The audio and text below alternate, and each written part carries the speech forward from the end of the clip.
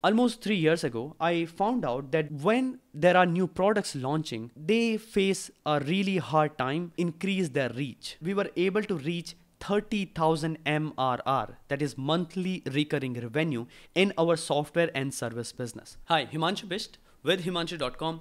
In this video, you are going to discover five new micro SaaS business ideas. I love micro SaaS business models is the fastest to start a new source of recurring income through the internet.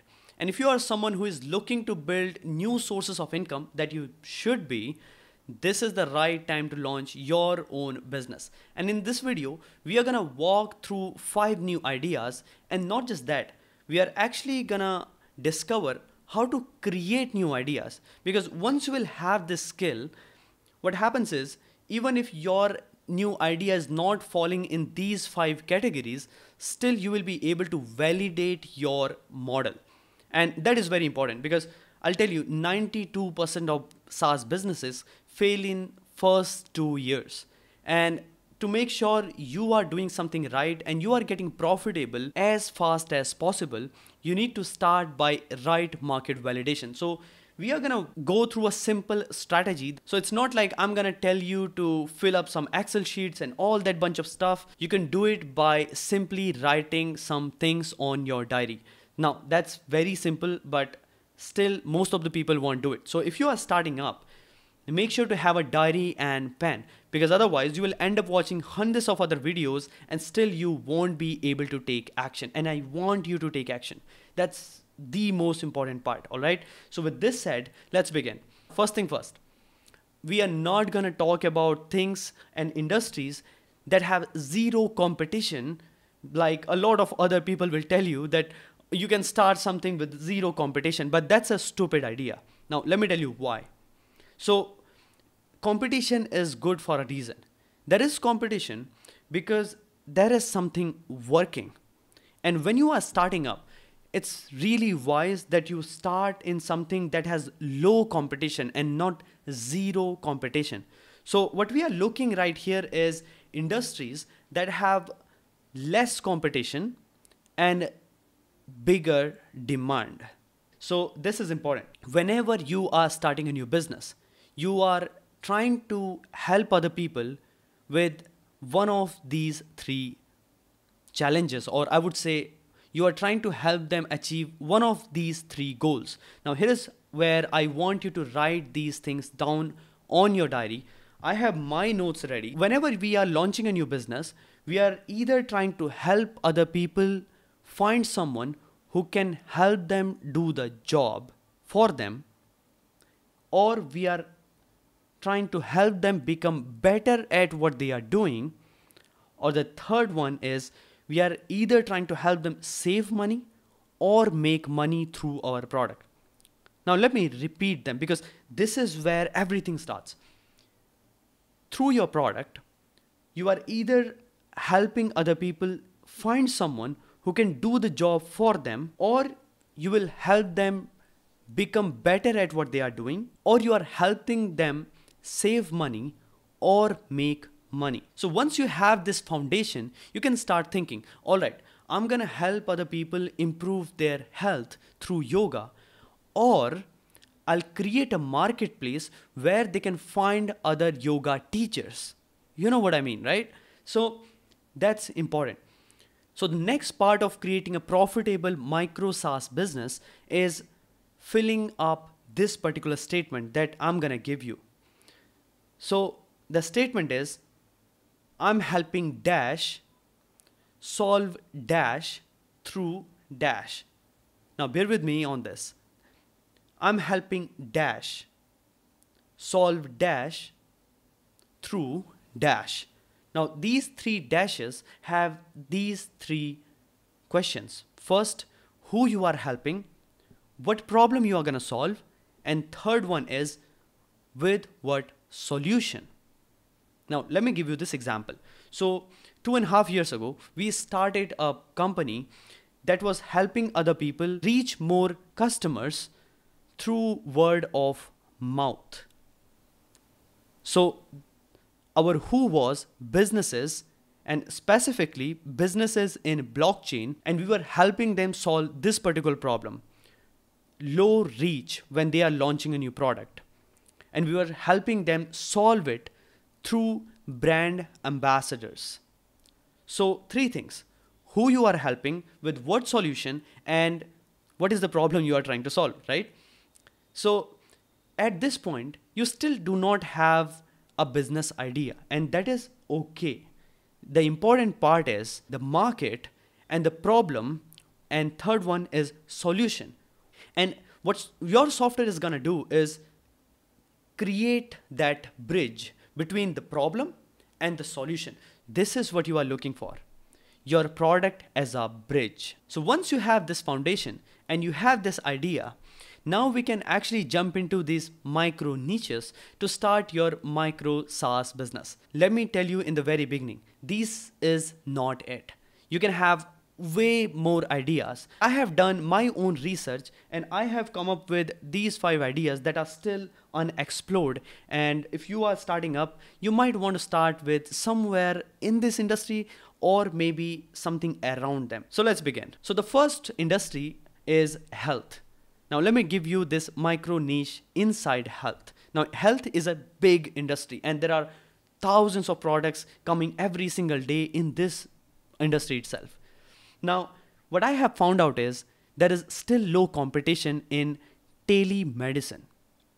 Now, even better, if you can target a particular city, what you can do is you can help people connect with doctors in your particular city. Maybe there is a big competition in this particular industry, but what happens is your micro SaaS is specific to solve problems in your city. So your target audience will be the doctors and the people who are looking for quick medicinal advices. And you are connecting these people with the right doctors. And it's not even very hard to create. You can reach out to the doctors in your city and you can create a group of them and immediately start building this particular product. Now, there can be hundreds of other ideas, but this particular one is actually profitable and there is high demand, and still it's low competition. Now, the second business is in esports. Now, I play this game called Valorant, and it's kind of very popular game. And what I found out is there is this website that's called Aim Labs, and what it does is it helps people improve their aim. Now, this is crazy. What they do is they help people shoot better in their game. And this company is completely different from that particular game. This company has these tens of other games that they have listed out and tens of different terrains and you can choose all different things that are important to improve your aim. And imagine the kind of niche they are in. Inside esports, they are helping other people become better at their gaming performance. So you see where I'm coming with this, right? They are helping people become better at what they are already doing. So in the similar way, you can even create gaming guilds that is helping different gamers come together and launch new campaigns or something like that. So this is the second industry that you can target that has not so big competition and really high demand. Now, the third one here is wealth. Now, wealth is again a massive industry.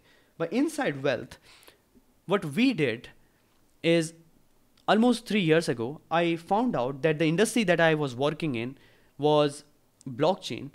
And we found out that when there are new products launching, they face a really hard time increase their reach. So what we did is we created our software Afleet for our ideal customers to promote their brand through word of mouth.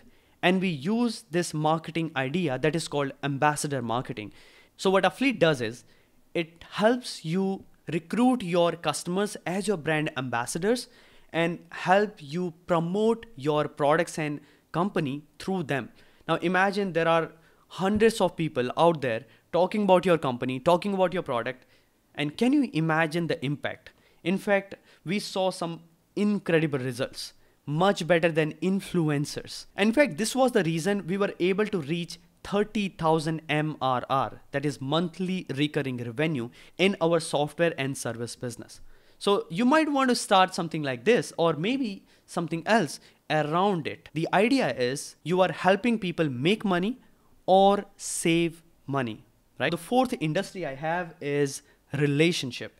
Now, relationship is an intimate niche. People want to improve themselves. Maybe they want to improve their relationship with themselves or maybe with a partner, or maybe they are looking to find a good partner for themselves. One of the interesting business idea inside relationship is a personality calculator.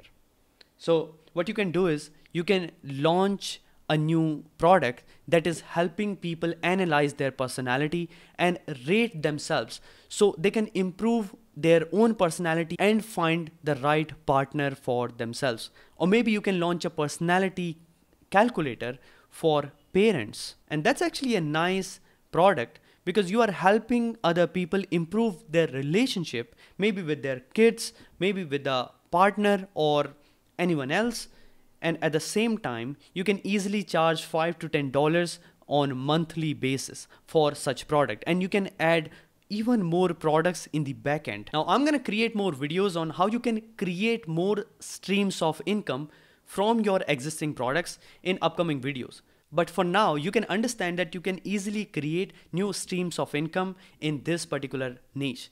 So the last niche we have is education. And you can see my lights are gone but we are going to keep moving all right? So inside education there is this particular sub niche that is growing really fast and that is home schooling so what you can do is you can launch your home schooling tracker as a product that is helping parents track their kids performance as they are teaching them in their houses. After the COVID pandemic, this is one of the things that grew really fast and it's not to slow down. And there is a big market demand for these kind of products and there are already products that are working in this particular industry, but definitely you can find out one that is profitable for you.